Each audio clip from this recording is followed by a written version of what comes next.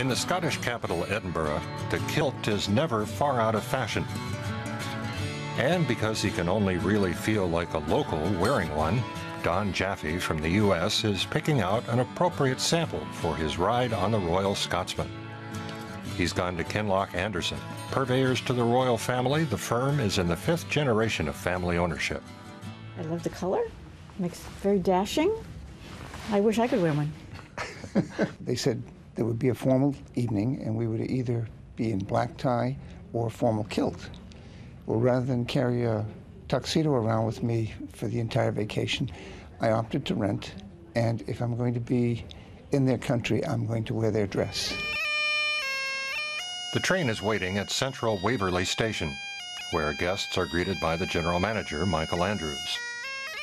He welcomes them with a traditional Gaelic toast. Ladies and gentlemen, slàinte. Slàinte. Slàinte.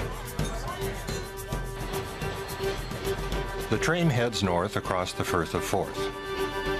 The observation car at the rear of the train has a small deck that offers sweeping views of the Scottish countryside. The three-day round trip loops round from Edinburgh to Perth, continuing on to Aviemore and then Inverness, in the heart of the Highlands. This is your room here.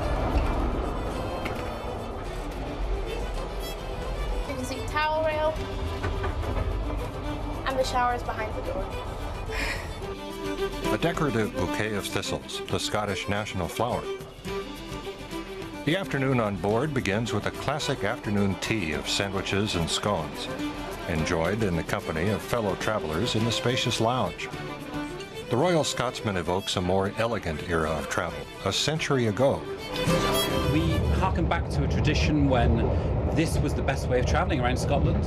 Um, travelling from uh, country estate to country estate with your own private railway carriages, uh, the best of produce from land, from sea, from air, um, partying, hunting, shooting, fishing, and just enjoying life. And that's exactly what the 40 passengers on board do on their stop at the Highland estate of Rothiemurchus.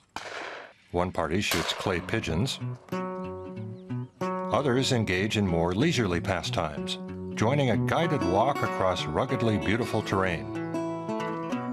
Or a morning of fishing.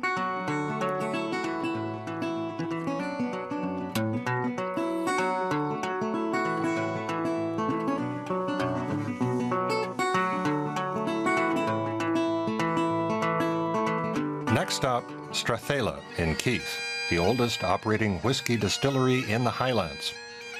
It's home to the world-famous blended Scotch whiskey Chivas Regal.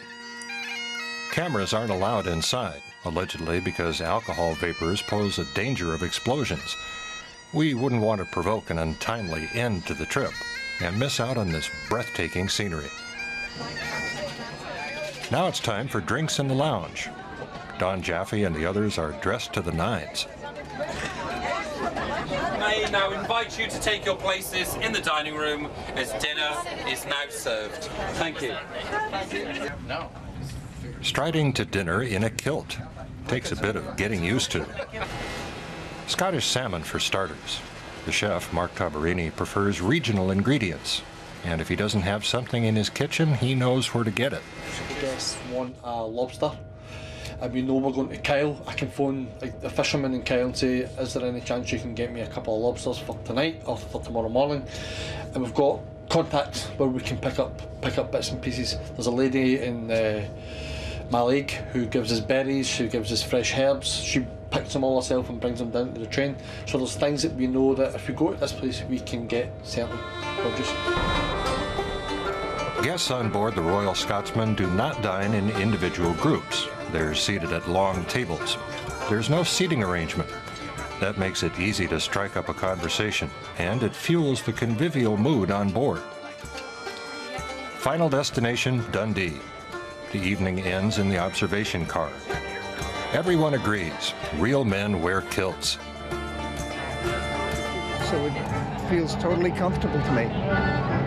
I'm not sure I'd wear it at home, but I feel absolutely incorrect place while I'm here. That's why Don Jaffe can't pass up the chance to dance a reel on the platform at Dundee. It doesn't get more Scottish than this.